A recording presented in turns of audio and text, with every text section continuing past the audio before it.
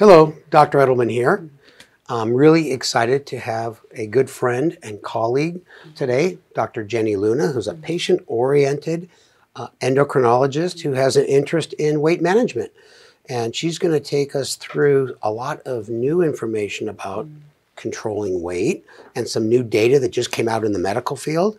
And I'm going to jump in here and there, but it, I'm going to let Jennie uh, take it from here. Well, thank you, Steve. And it is my pleasure to be here today to definitely discuss one of my favorite topics.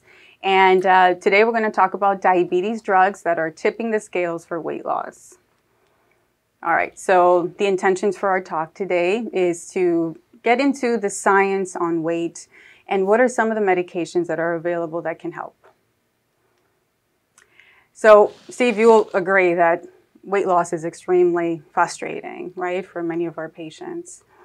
And um, it's important for us as providers and for patients to understand that weight gain or a high body mass index or BMI is not due to laziness or lack of willpower. And the reason is is that there are many factors that are influencing our weight um, biological, and we're going to get into all of these um, shortly, but biological factors like genetics, um, hormonal changes that happen in the body when we lose weight, and meta- metabolic adaptation as well. Jennie, let me just add that, you know, it is frustrating for patients. They've tried everything in the book. Absolutely. It's also frustrating for caregivers mm-hmm. because we didn't have, we don't have great tools. Right and, and I hear people complain, my doctor never talks about weight other than saying you need to lose it. Mm-hmm. But uh, some of the data that just came out that Jennie mentioned, we're going to talk about that at the end. Mm-hmm. Amazing yeah. information. And I really think it's going to change the way we approach patients that have weight problems. And you're right. Yeah. They get called uh, lazy, but it's such a genetic issue. Right, right, absolutely. And um, you know, it's it's important to understand because then only if we understand it can we address it appropriately. So um, genetics, we can't choose our family, unfortunately. and 97 uh, there are 97 different regions of the human genome that are directly associated with increased body mass index. So, if mom or dad is struggling with weight, then that puts us at risk um, to have the same struggles as well. It's it's always our parents' fault. So yeah, it is. That's it. It's just mom and dad. and it's no surprise that as we get older, it's much more difficult to lose weight. So why? And as you can see here on this curve, after the age of 20, it's so much easier to gain weight. Our metabolic rate decreases, or the ability for us to actually burn calories decreases with time. And women, as uh, you can see, we are always ahead of the game, uh, even in this scenario here, where it's it's uh, harder for, for us females to lose weight when tackling um, this issue. And then you add on menopause. Mm-hmm. Yes, yes. I don't think there's a woman on this earth that doesn't have problems maintaining her weight Right, once they right. reach menopause. Yeah, absolutely. Um, that is uh, definitely a, a, huge challenge um, for us women, where after menopause, it's so much more difficult um, to lose weight and to keep it off as well. Perfect. So, one of my um, kind of very, very uh, favorite topics too is um, the microbiome. Um, we are now aware that our gut flora or the microbiome is actually even labeled as our second brain. We have more bacterial cells than human cells, and they all live pretty much in our intestine. And they play a very important role in our health and also our weight. And the food that we eat actually has a huge influence on the bacteria that's growing in the gut. So, depending on the population of these uh, bacteria, there could be bacteria that can promote weight gain versus some can um, cause weight loss. So, it's a very interesting um, topic, which you know, again, putting another factor that will make it difficult for, for patients to lose weight. You know, Jennie, when I when I read the slide, I, said, mm-hmm. I, I, thought of the phrase "the way to a man's heart is through his stomach," and that you know, it's our second brain. Yes. But the Well, the, the, Yeah. the other question I had for you, Mhm. uh, and I mentioned that earlier before we started, was Mhm. you know that the probiotic is a big market. Mhm. They're Yes, all over the yes, yes, counter. yeah. They're really quite expensive. Mhm. And I couldn't believe it. I got these gummy probiotic gummies. Mhm. There's two billion strains in every gummy bear. Then they sell Activia yogurt. Right, right. But but what's your response to that? So uh, the problem with many of the probiotics is that we're not 100% sure that what's in those pills is exactly what's being sold. So the best way to do that is to introduce uh, foods that can actually lead to your own um, bacteria to grow or the, the good microbiome. And that's pretty much all your, your plant foods or foods high in fiber. So that's your fruits, your vegetables, your whole grains. These are um, foods that are high in fiber, and actually, the bacteria of the gut um, feed off of this, um, release short chain fatty acids, which have anti inflammatory properties. So, uh, again, you're kind of working with your body, giving it what it needs to replicate on its own. I love that. And you, you called it prebiotics. Right, right. Yeah, just pick the right foods. Exactly, exactly. Cool. Yeah. So, and lifestyle, of course. Um, with this past year and uh, being in quarantine, I think we can all agree how um, easy it is to gain weight um, when we're stuck at home and you know we weren't walking, let's say, to work or walking to our vehicles. All of those steps count. Um, so the lack of physical activity definitely contributes to weight gain. Uh, important too is the food that we eat. So foods that are very palatable, like highly processed foods, um, high in sugar, fat, um, carbs. These foods tend to trigger a, uh space in our brain that's called the reward circuit, that's driven by dopamine. So that's the uh, kind of like a loop that when we get stress, then we think about these foods. We want to eat these foods to kind of feed the same circuit. Um, it's, uh, for instance, when we're having a bad day and you look at that chocolate cake and it's all of a sudden winking at you because it looks like it is. so again, that reward circuit makes it very difficult sometimes to, to lose weight. And of course, stress and sleep. Um, when we deprive ourselves from sleep or we're not really checking in with ourselves to see what's going on with our stress levels, we release hormones such as cortisol that cause weight gain. So, very important things to, to kind of keep in mind uh, in our process of weight loss. And say a few words about exercise because Mm-hmm. we, you know, when you have weight problems, it's tougher to exercise. Yes, and yes. Uh, what what kind of recommendations do you recommend for someone who's heavy and hard to get up and, and go sprint around the block? Right, know? right. And that, that's a great question. So there's something called non-exercise activity thermogenesis, or in short, it's called NEAT. So these are all the different activities that we do on a daily basis that doesn't include exercise. And this is what I usually tell patients, you know, instead of um, taking the elevator, maybe take the stairs, um, going for a walk with your pet or with your spouse or loved one, um, you know, parking the car further, the pool, walking in the pool, all these things that might not be classified as exercise, but do increase the um, kind of caloric burn um, throughout the day as well. Yeah, that, that makes perfect sense. Every little bit counts for sure. Absolutely, yes. Excellent. So, Steve, this is actually one of my favorite um, articles that was published in 2016, and we were talking about it earlier, which is um, quite fascinating. I'm not sure if everyone's aware about um, this show that aired several years back, uh, very, very popular, and it was called The Biggest Loser. So, the core of, of this uh, show was basically to um, have uh, contestants that were struggling with weight and they would put them on uh, very strict exercise routines and diet and they lost 100 or 150 pounds and whoever lost the most weight would win the contest. So 16 of the contestants from The Biggest Loser were actually followed in time by scientists to see what actually happens to their metabolism and um, to their satiety hormones. And they actually noticed that after the show, they gained the weight back, but they had permanent damage to their metabolism. So they never readapted um, to their weight gain, which it shows us that slow and steady will get you to the end.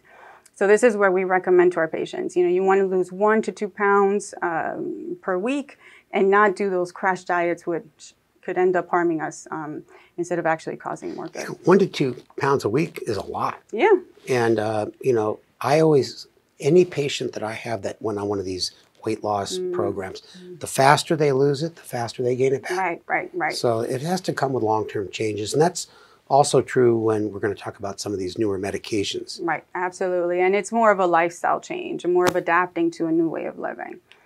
Excellent. And um, with diet, of course, and crash diets, there's a rise of this hormone called ghrelin. So, kind of a funny character. We did a small animation here to show that. He's um, basically released from our stomach, goes to the brain, tells the brain, hey, I'm hungry. And uh, when we're trying to crash diet, then this hunger hormone goes up, making it very, very difficult um, to, to maintain to those strict caloric uh, uh, restrictions. You know, one of these days they're going to come up with an anti-ghrelin pill. but, but I've heard I've heard this hormone mentioned at Right. Major scientific meetings, and yeah, it's it's when people who have weight problems have higher levels. Right, right, absolutely, yeah. So, um, like sleeve gastrectomy and the gastric bypass, um, research actually shows that they have less uh, levels of ghrelin because the stomach is um, pretty much modified in a way that decreases the amount of this hormone in the bloodstream. So, very, very interesting stuff.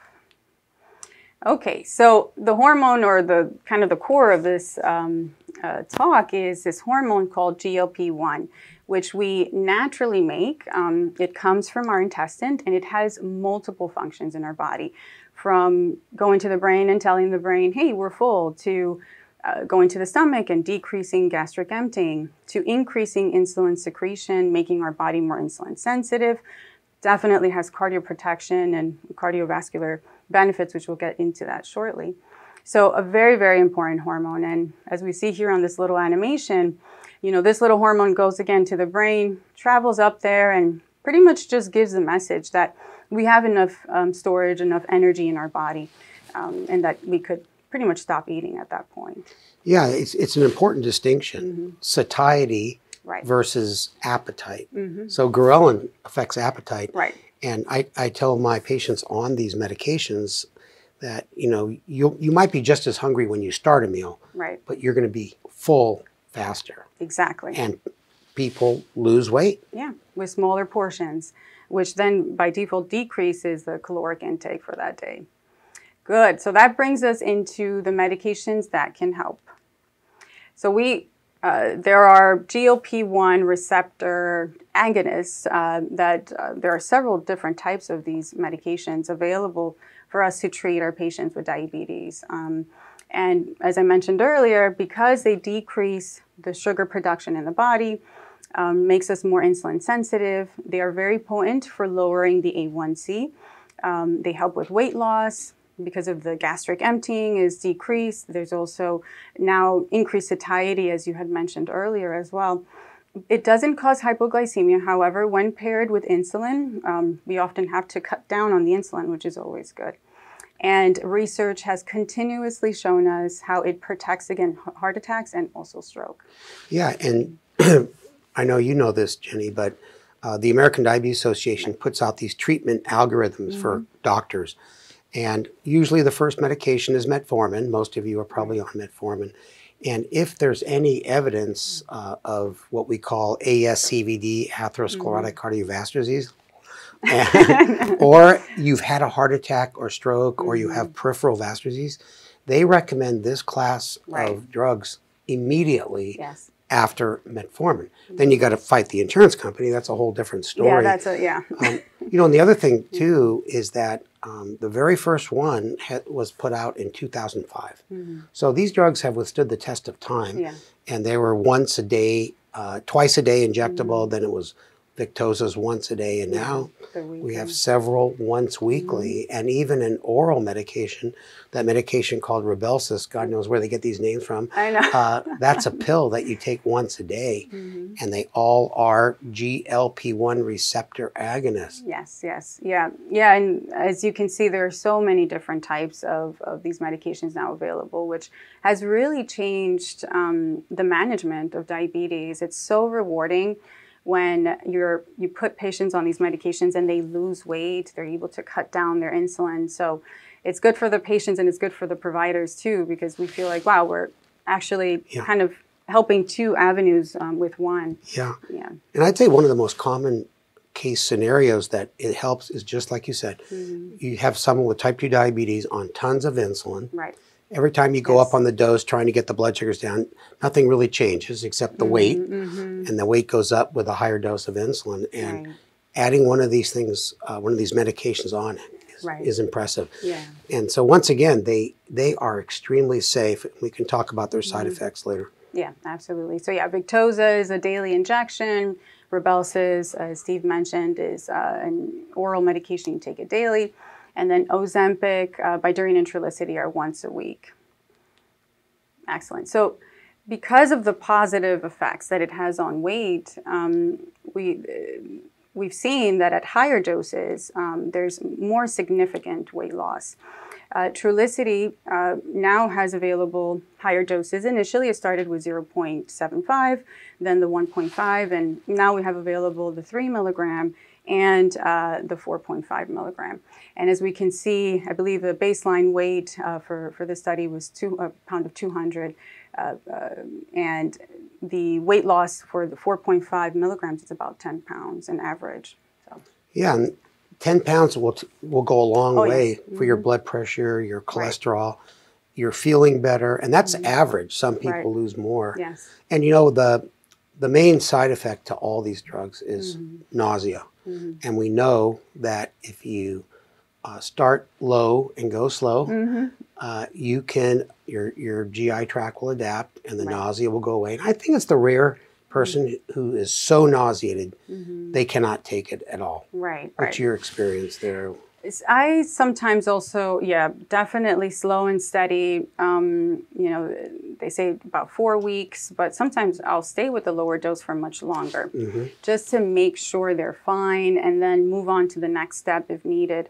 So, yes, and on, this is on average. I mean, there are patients that lose much more as well, especially when they're pairing it with lifestyle changes. That's key Yeah, yeah. because you know when you start losing weight, you feel better about everything yourself, your joints, and you end up. I, I call that the reverse 22. Uh, you know uh, that people they don't get worse; they get better. Right, right. Yeah, and losing um, 5 to 10% of your body weight decreases your blood pressure, increases HDL, which is a good cholesterol, drops your triglycerides. So, you know, I, it's even losing 5, 10 pounds makes a huge um, change in the body and our health. So, it's really good. And uh, which, like Victoza, is a daily injection, but at a much higher uh, dose. Um, so this goes up to three milligrams, and again, we start slow and slowly increase the dose as well. And in this study, um, the average weight loss was about 21 pounds. As we can see, compared to placebo, uh, patients with the placebo group, when they did diet and exercise, lost about 3.5% of their body weight versus lifestyle, uh, diet, and physical activity plus Saxenda, patients had a 9.2% loss of weight. Yeah, and I, I I'll just say one phrase about this whole FDA regulation. Saxenda is the same as Victoza, Right. just higher doses, but because uh, the FDA said the primary indication is for people who are quite heavy, then you need to call it a different name. Right, so right. it is confusing. So Victoza is basically Saxenda, and we have one more example to talk about that too. Yes. Excellent. So this is actually the new kid of the block, uh, Wegovy. Um, like um, Ozempic, um, it's a but much more higher dose. Um, you know, with patients that uh, were started you, sim- similar to Ozempic, we start at a lower dose at the 0.25 and then slowly increase to the max dose, which is 2.4 milligrams once a week. Um, very, very significant uh, weight loss uh, of four, about 14.9% when compared to the placebo group, which only did diet and um, physical activity, only lost 2.4%. So, in summary, basically, if someone weighs 200 pounds before they start with Wegovy, on average, they would lose about 30 pounds in five months, which is very, very good. Yeah, yeah, it's amazing.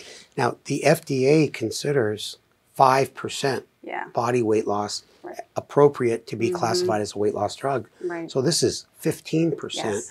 And the other thing, too, is if you notice um, in the small print, Mm-hmm. it takes five months Right, to titrate to the highest dose. exactly. For those of you on Ozempic, it's one milligram Mm-hmm. of Wegovy. So, um, what do you say about trying to get this drug? What any tips, uh, tricks? Uh, Yeah. I've heard that um, the folks at Novo Nordisk are going to do their best to try to make it as accessible Mm-hmm. as possible. So you have to get your doctor on your side, and they have Right. to fill out a what we call a prior authorization, which we hate. Yeah, but we'll Like, do. But we'll do do- it for you. Yes. yeah, it's it's tricky. Um, the medication started uh, was released in June, and um, it it's a process. But I mean, with this significant weight loss, I, I feel like with time it will be much easier. Um, we have patients that do the sleeve gastrectomy and lose 30 pounds. So here we have a medication where they don't have to go under the knife and you know go for surgery. Um, and there's data showing its safety, cardiovascular uh, protection, because we have that with Ozempic. So I think with time, it, you know, we hope that it will be much easier. Yeah, the other thing that these insurance companies really need to know is that you're not just reducing someone's weight. Right. You got the heart disease, but also um, gastro- gastrointestinal reflux disease, and even more importantly than that, sleep apnea Mm-hmm. and fatty liver. Right. Right. So there's a thing called fatty liver disease that Mm-hmm. can end up leading to cirrhosis. Yes. Yes. Um, and right now, the best treatment for fatty liver, which occurs in people with type 2, Mm-hmm. is weight loss. There's no fancy way to treat it. So right. the cost savings are tremendous, and lifestyle Right. uh, and your quality of life is invaluable. Right, exactly. And the machine, the body is like a machine of balance. Um, when the body starts to lose weight, it starts to lose weight internally. So the visceral fat or the fat around the organs, like the liver and the heart, the body taps into that first. And unfortunately, patients don't see that on the scale, and they'll say, "Oh, I haven't lost any weight," but I tell them, "Do your pants feel looser?" And they're like, "Yeah, absolutely, it does." And again, this is the body trying to balance things out for us. You know, I never knew that. yeah. Yes. Yes. Well, explain uh, what the fat around the organs is, because I think that's visceral fat is something that's a doc, more of a doctor right, topic. Right, right. So it's the when we gain weight, everyone's built differently, and um, there are some people, let's say, that might gain more weight in the abdominal area. Some might gain more weight, let's say, um, in uh, the lower. Uh, uh, kind of the lower end of the body, like the thighs. So, with visceral fat, um, basically now the body starts to accumulate fat around the organs. So that's the heart and the liver, and also sometimes around the muscle. So that's at the core of type 2 diabetes, which, you know, if we have mom or dad that has type 2 diabetes, and, you know, that also puts us at risk as well. Um, and that visceral fat is very inflammatory. So the largest, the largest endocrine organ is actually fat. It's very much alive and it releases inflammation that um, causes problems, you know, to the heart, uh, insulin resistance. So as soon as the body sees itself in the opportunity to be able to lose weight, then it starts to consume that air, um, that fat for energy because of the caloric deficit.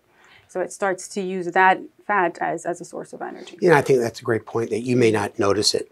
Right, right, exactly. Yes. And then if you exercise, I know mm-hmm. muscle weighs two and a half times the fat.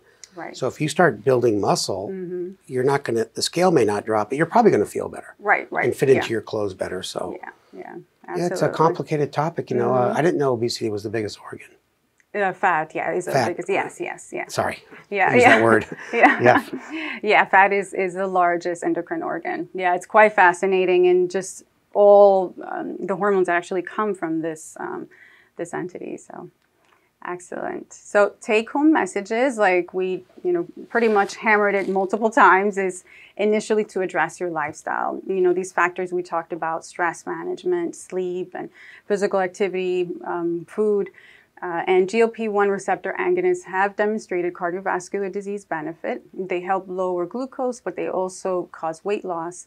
And now at the higher doses of the GLP-1 agonists, um, we see significant weight loss when paired with lifestyle changes. Well, gosh, you know, uh, lecture by Dr. Luna today is is uh, starting off our obe- our weight management section on our video vault, Mm-hmm. along with lectures from really good dietitians that that get it. Right, so right, right. thank you, thank you so much for uh, coming on and sharing your knowledge with us. Well, thank you for having me. It was my pleasure. Now I can exhale as soon as we stop uh, filming.